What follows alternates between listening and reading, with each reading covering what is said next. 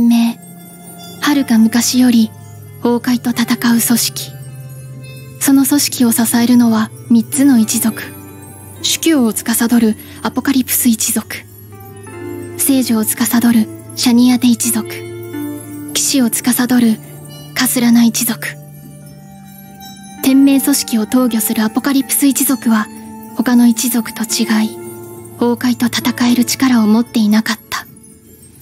崩壊に対抗できる力をその手に入れるため1972年天命組織の主教アポカリプス一族の課長オットー・アポカリプスは秘密の計画を始めた。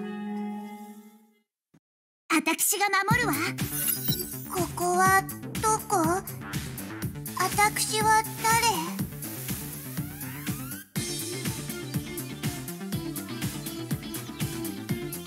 実験体 A310 号誕生実験成功バイタルサイン正常崩壊エネルギー適用度69%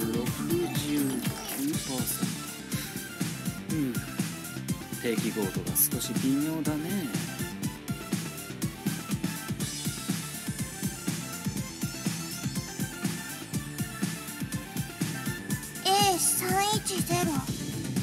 それが私の名前？あなたは誰？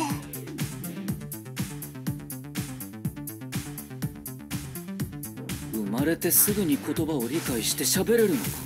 この実験体は他の実験体と違い自分の名前を知りたがっている。まさか本当に自我意識を持っているのか？A310 もしこれから試練に耐えられたら僕の名前を教えてあげるよそれと。君にも名前を付けてあげる。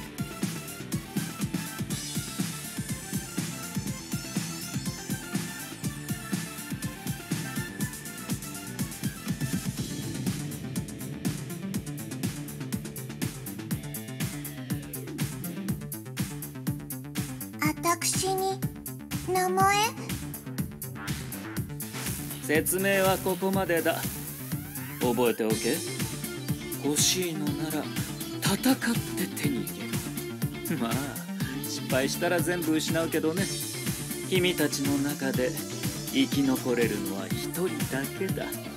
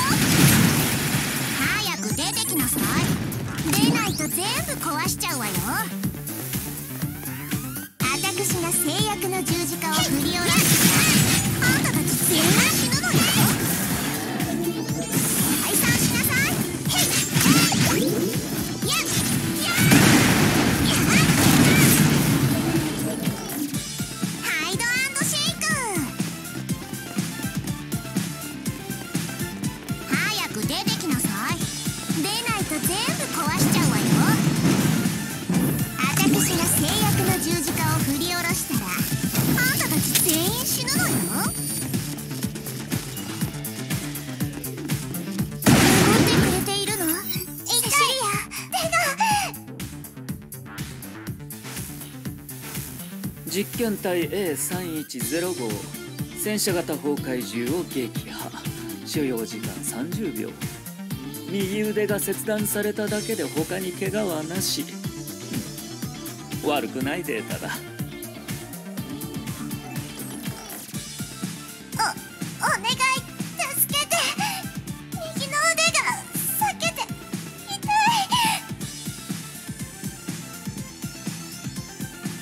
痛覚があるようだね。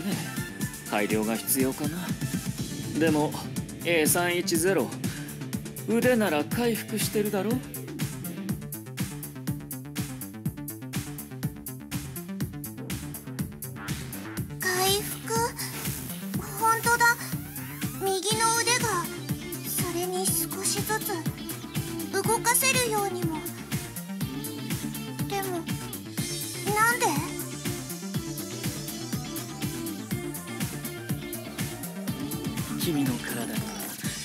体の上級崩壊獣の細胞が組み込まれているからね。崩壊獣の強い再生能力も君の体に受け継がれているのさ。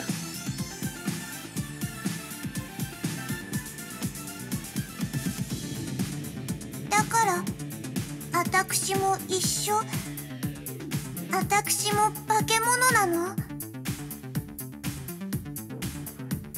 違う違う違う君は偉大なバルキリーの遺伝子を受け継ぎ最高位の崩壊獣の力を融合した新世代の人類だよ。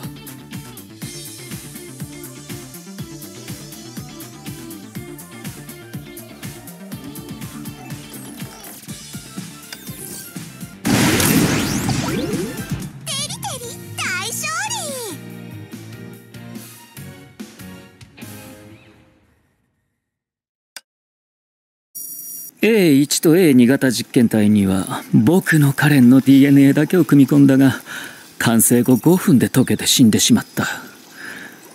今回の実験では融合型崩壊獣ビシュヌの細胞も組み込んだ。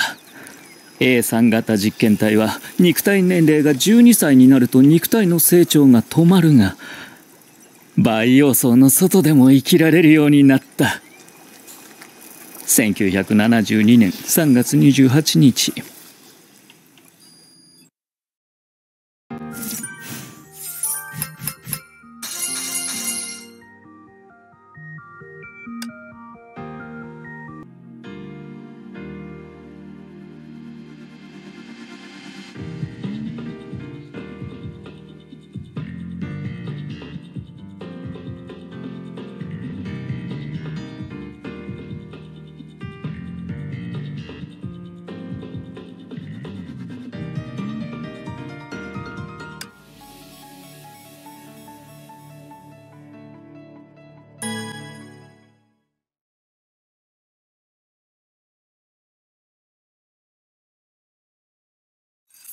開始。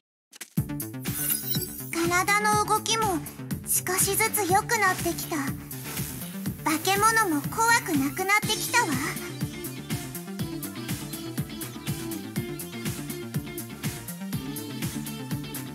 素晴らしい。この戦う姿果敢さ。ああ感動した。まるで僕のカレンの姿を見ているようだよ。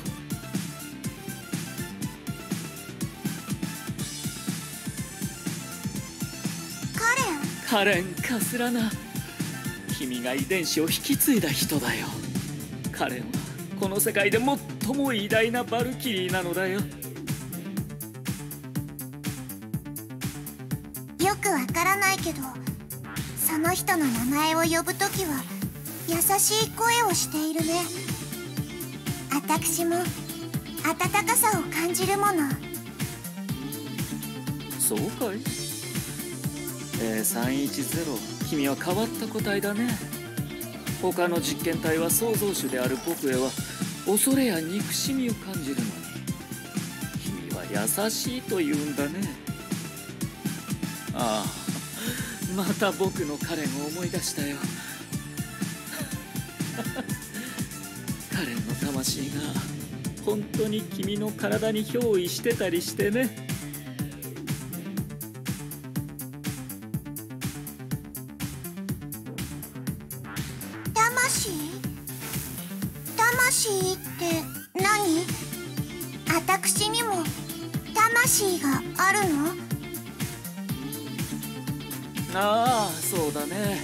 0.310人造人間の君にも魂があってほしいと。僕は切に願うよ。さあもうすぐ最終試練だよ。僕の可愛い実験体行きなさい。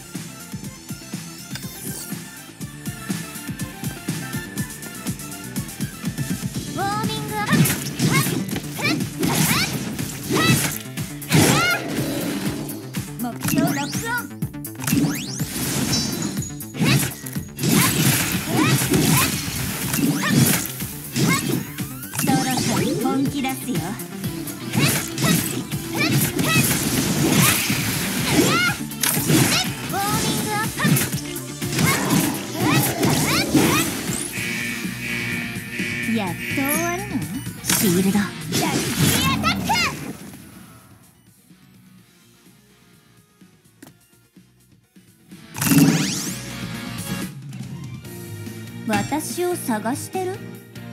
焦ることはない。すぐに再会できるよ。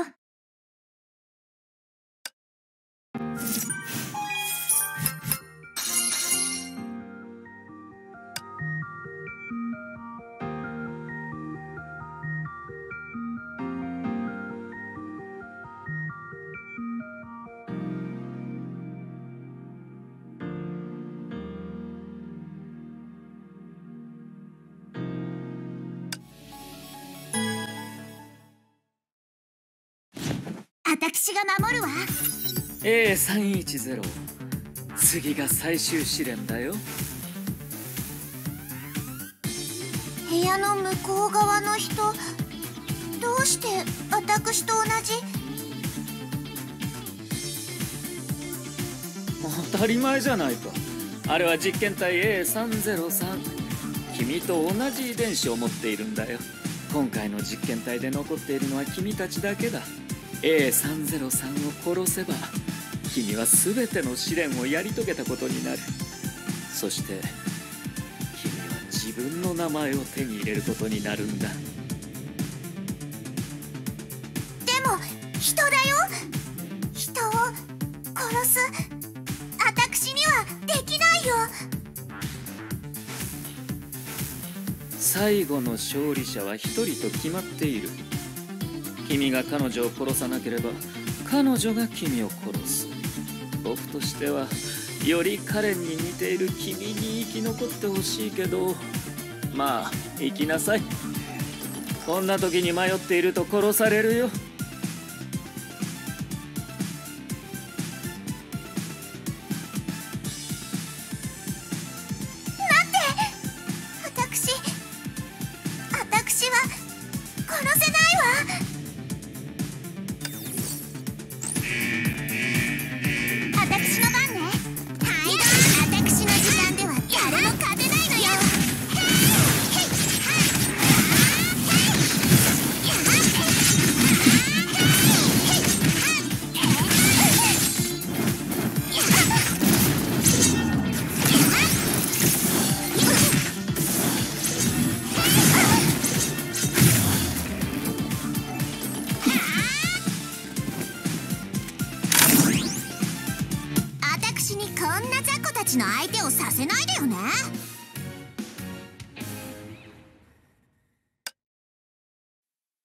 A310 は A303 を殺さなかった。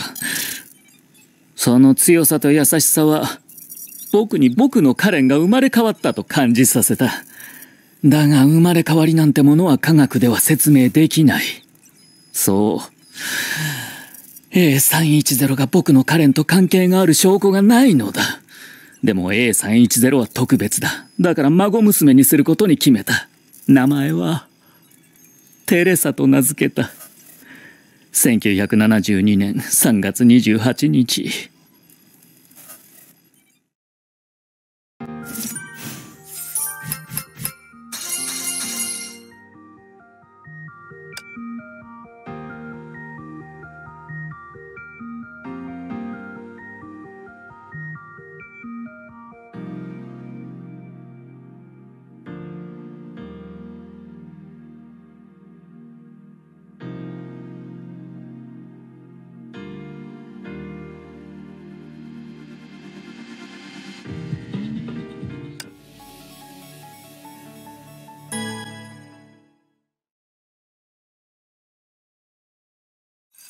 開始。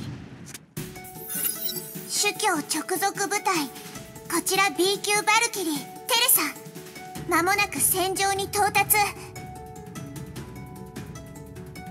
こちら極東支部第一小隊指揮官 A 級バルキリーカーリー。10時間前近くに未確認巨大崩壊獣を感知。暫定コードパールバティ。現在私の率いる部隊が敵を殲滅するため目標に向かっています。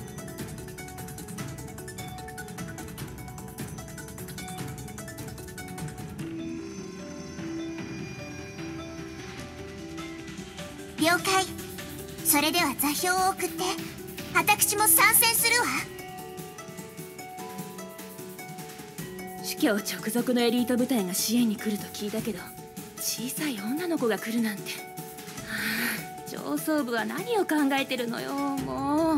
テレサさんいい？無茶はしないでね。もし危険な状況になったら一時撤退してもいいから。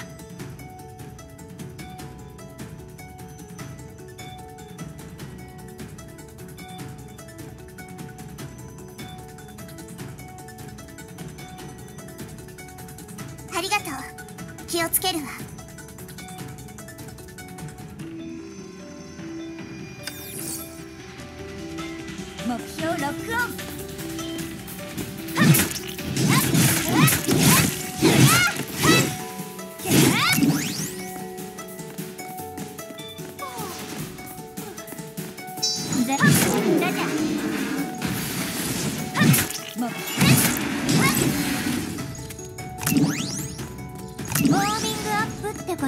あげる。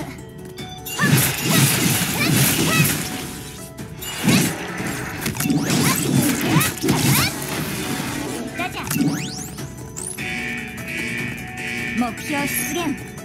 最終作戦開始。シールド。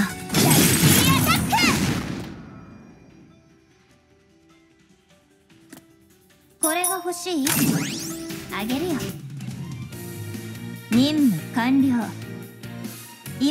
私たちの問題を解決しよう。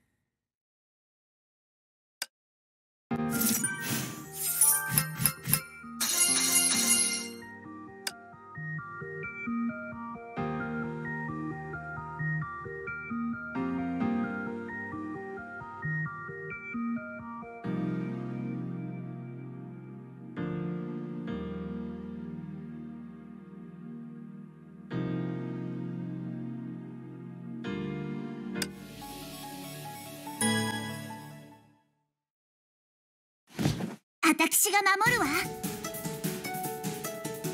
私が制約の十字架を振り下ろしたらあんたたち全員死ぬのよ。やっ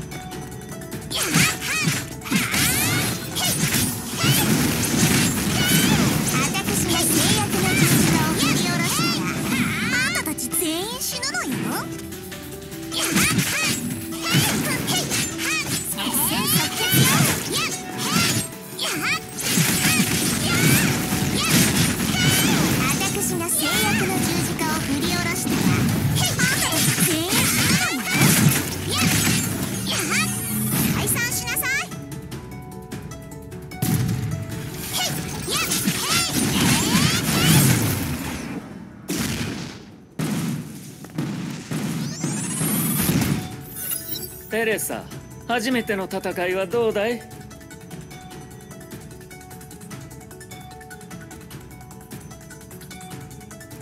はい少し緊張します。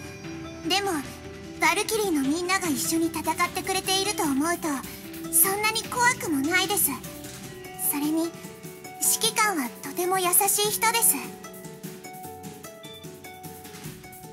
アポカリプスの末裔であるというだけで幸せな生活が送れるのに君はかたくなに戦場へ行こうとする。たまに君のことがわからなくなるよ。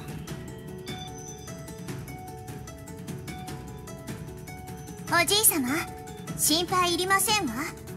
それに人を守れる感じがして私は嬉しいですわ。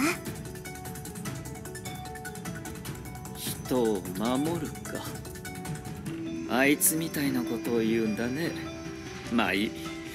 今回は君のしたいようにすればいいよ。僕が守ってあげるから安心してね。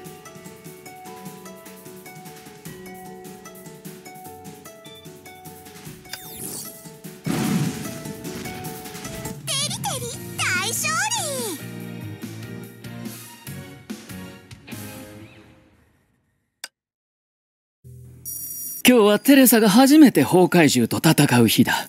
幸い敵は弱い戦車級崩壊獣だ。テレサが使う装備もちゃんと調べたし好きなゴーヤジュースも補給しておいた。修道服もしっかり洗った。僕は最近テレサを甘やかしすぎてないか？1973年12月23日。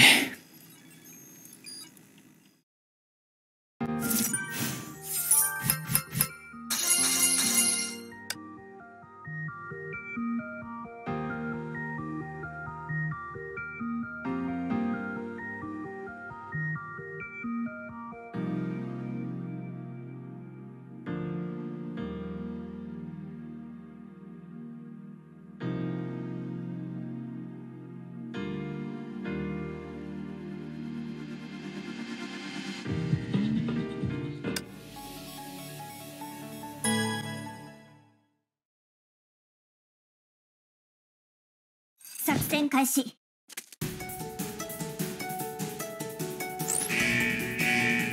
目標出現。最終作戦。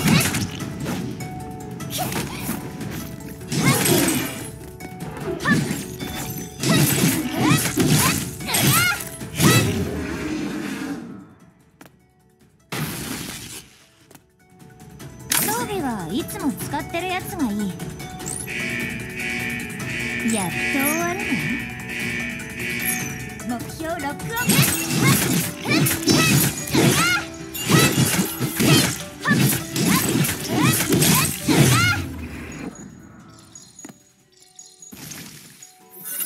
こちら極東支部第一小隊カーリー。目標パールバティ発見。待って。目標の放火エネルギー指数が上がってるわ。このレベルは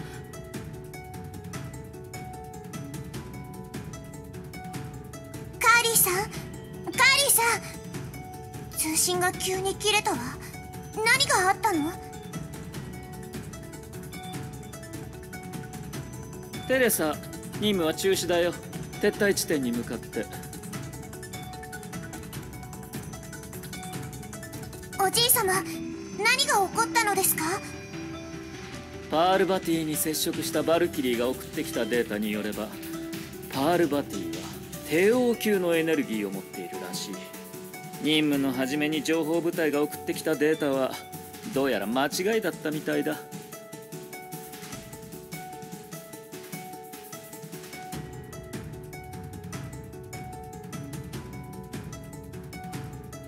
帝王級でもカーリーさんの部隊はパールバティと接触しましたわ。カーリーの率いる極東支部第一小隊は A 級バルキリー1人と B 級バルキリー5人だ。パールバティ相手じゃすぐにやられるだろうね。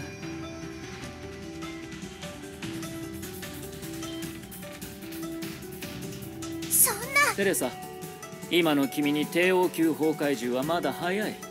撤退してくれ。大丈夫。10分後にパールバティに向かって N2 ミサイルを発射させるから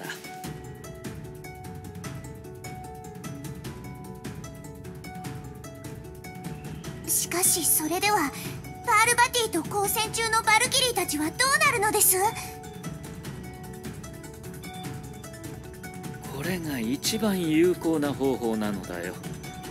それにバルキリーなんてバルキリーになった時点で彼女たちは犠牲になる覚悟ができているよ。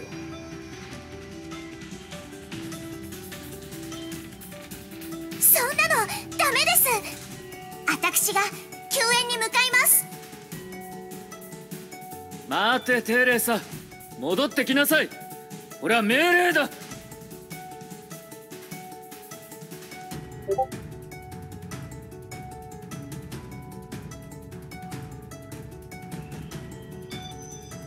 ごめんなさい。おじい様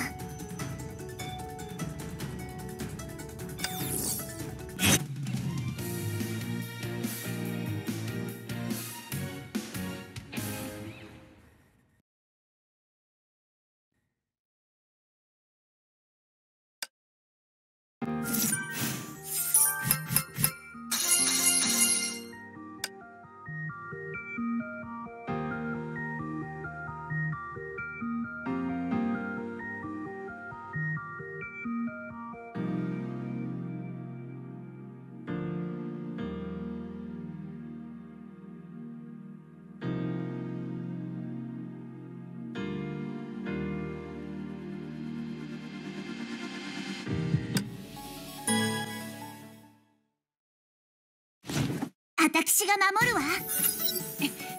ここまでなの？カ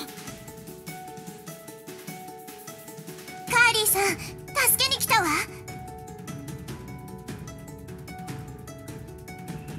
テレサさんなの？来ないで。パールバティは危険すぎる。私の正体が引き止めているうちに早く撤退して。すぐにミサイルが飛んでくるはずよ。あなたまで命を無駄にすることはないわ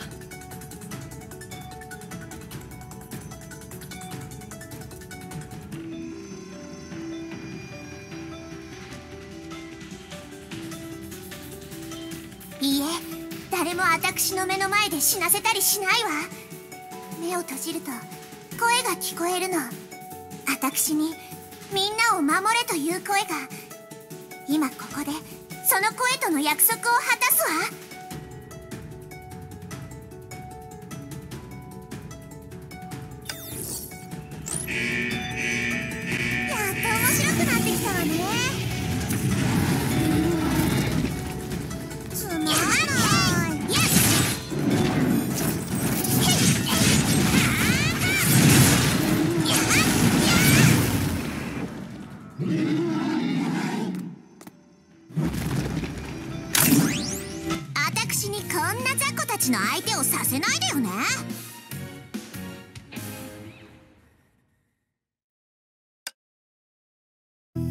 不良品と思われた人造の少女はその人間らしさから運よく生き延びテレサという名前を手に入れた。1973年12月24日バールバーティ作戦。B 級バルキリーテレサは初めての戦いに参戦した。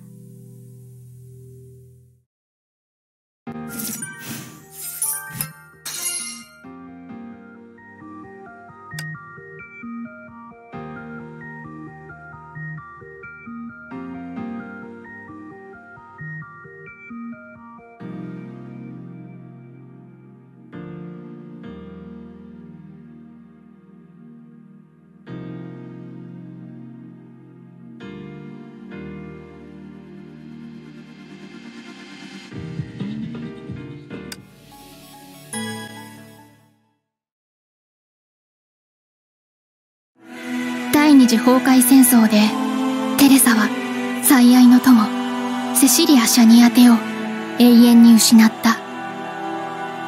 テレサは恐れた。このままだとセシリアの娘自分の姪っ子キアナ・カスラナモが天命の既製品になるのではないかと。私が守るわ。約束した時間になったわ。闇夜に紛れて暴れちゃえ。ジークフリートの野郎がキアナを連れて逃げられるように隙を作るのよ。2人の安全が確保できたら東側の山の上で落ち合いましょう。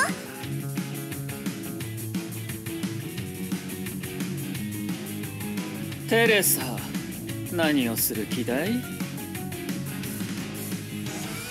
見つかっちゃいましたか？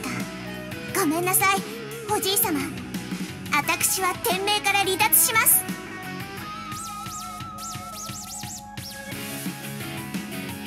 セシリアのせいかいテレサ分かっているだろ？崩壊との戦いに犠牲はつきものなんだよ。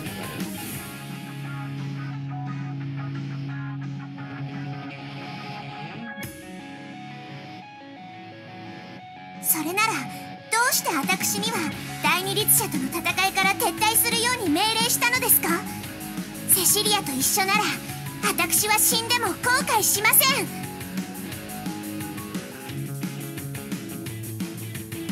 テレサ君は特別だから。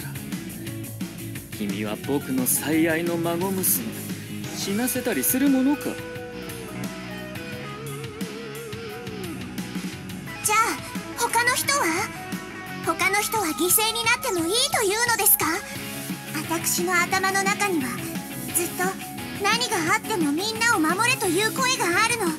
そのためならどんな犠牲を払っても構いません。セシリアは私の一番大事な人です。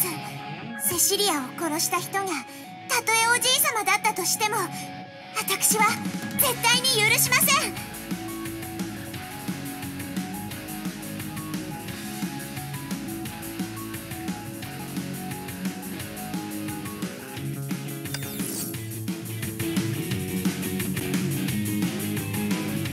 うん。ここでキアナたちを待とうかな。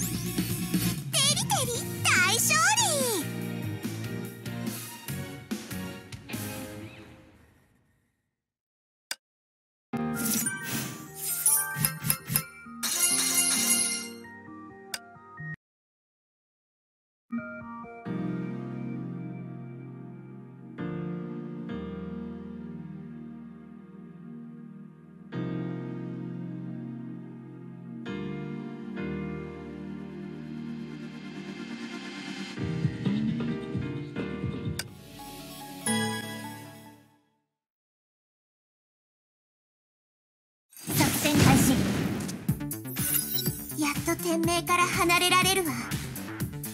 でもさっきからジークフリートの野郎と連絡がつかないけどさすがにこんな時に変なことやってないわよね。もしかして何かあったのかしら？テレサもういいだろ？戻っておいで。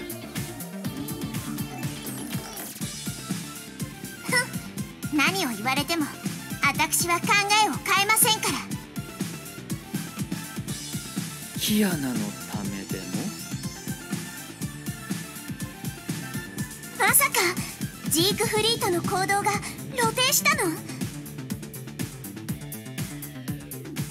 僕を相手に計画を隠し通せると思ったのかい？ジークフリートが天命を離れた時から追撃部隊に追わせていたのさ。もう捕まった頃じゃないかな。大丈夫だよテレサ君の愛する姪っ子を傷つけたりはしないよ。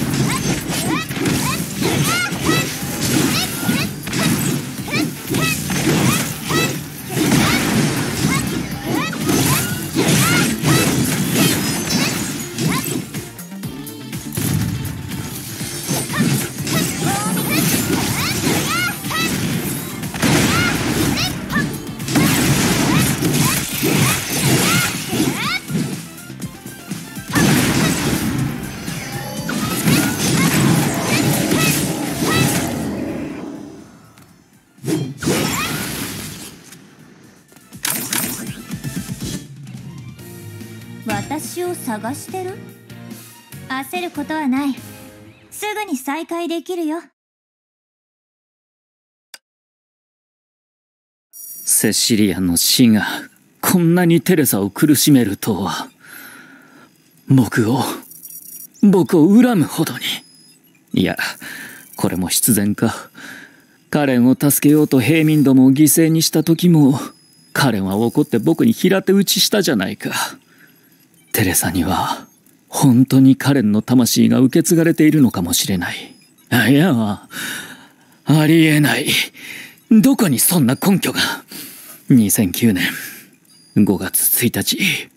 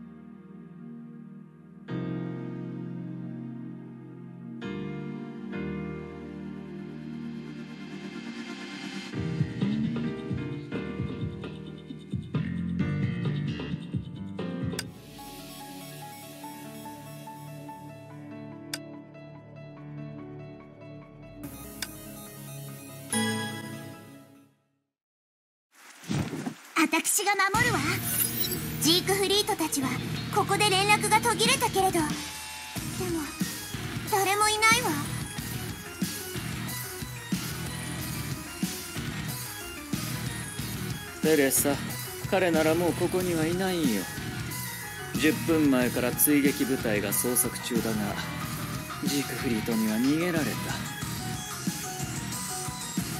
それじゃそれじゃキアナちゃんは？キアナは怪我しててね。今本部で治療を受けているよ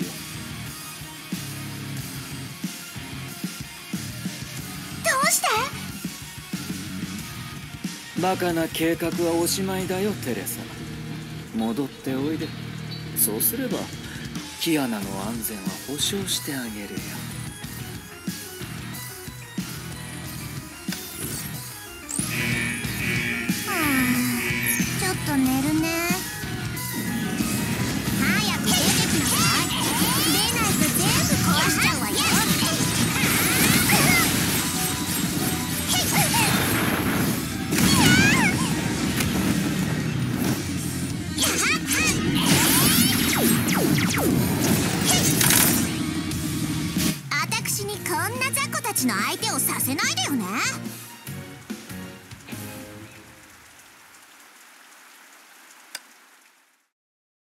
ジークフリートと実験体 K423 には逃げられたけどキアナは回収できた唯一気になるのはジークフリートが実験体 K423 を連れ出したことだネゲントロピーと自称している奴らと関係してるのか ?2009 年5月1日。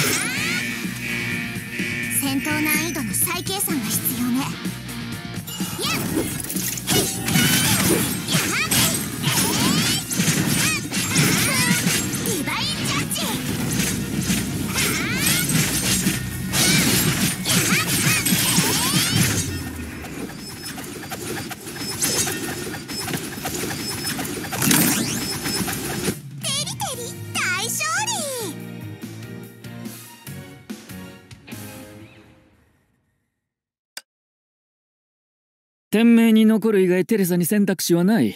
テレサは店名本部から最も遠い極東支部への転属を申請した。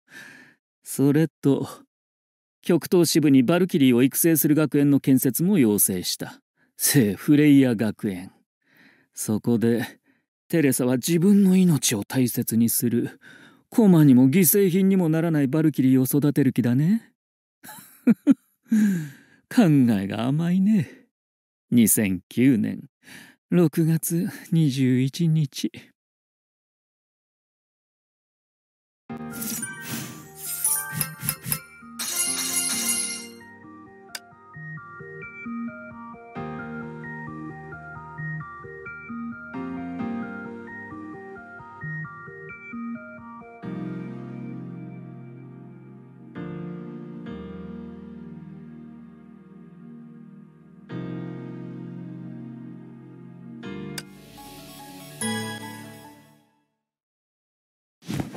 私が守るわ。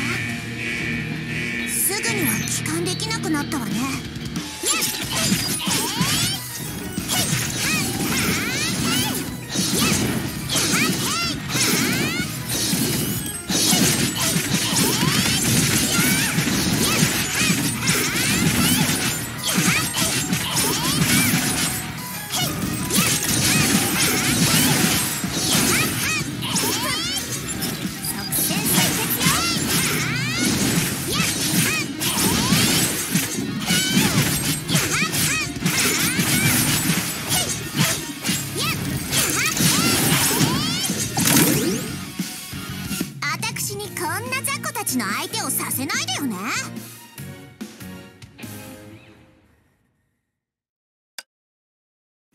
実験体 A310 は本当に奇跡だ。A 型から E 型までの260体の中で A310 だけは完璧な意識を持っている。それと A310 からはカレンカスラナの影が感じられる。僕のカレンであると信じたい。でも怖い。もし A310 が僕のカレンではなかったら僕も人類のトップに君臨する古今東西の科学者たちのように真理の扉の前に立っているのかもしれない。でも僕の理性が扉の向こうの真理が本物かどうかを疑えという魂というのは今の科学では解明できない概念だ。でも僕は知っている。ゴッドのところに僕の欲しい答えがあるかもしれないことをそれにゴッドの死者律者はすでに誕生した。前の文明の記録によれば第六律者死の律者には魂を置き換える力があるらしい。死の律者なら僕の欲しい答えを持っているはずだ。その答えで僕は本物の僕のカレンと再会できる。僕の500年来の祝願が叶う。